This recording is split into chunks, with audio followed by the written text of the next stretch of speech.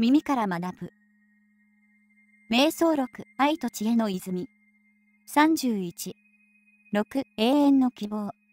6、瞑想と合一。危機物語。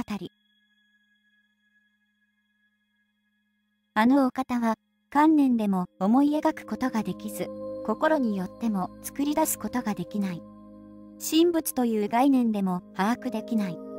あのお方は、一切の心象を超越している。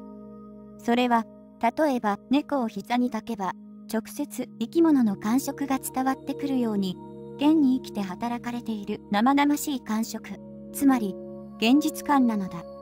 あのお方を認識することはできない。しかし、あのお方の生きた肌触りに触れることができる。瞑想は、あのお方に直接触れて合一する行為なのだ。瞑想は、あのお方の虐待認識ではない。もし、認識によって、あのお方を把握し否定するなら、その時、あのお方は、人と運外万里の彼方に隔たる。こうして、宗教や信仰というものの仮面が剥ぎ取られる。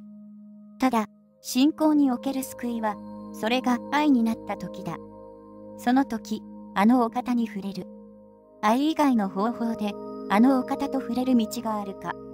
それは、あのお方についていろいろ考えたり学んだりすることである。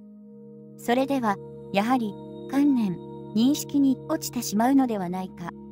この場合は、あのお方についての余計な先入観とかいろいろな間違った考え方を全部点検し、識別し、剥落させてしまうのだ。毒をもって毒を制するように、認識をもって認識のすべてを否定し去るのだ。認識が破られると、突如、天来のもののようにあのお方の生ける感触、その素顔が現れる。この時の対面は喜びの涙。そして、やはり愛のほか何者でもない。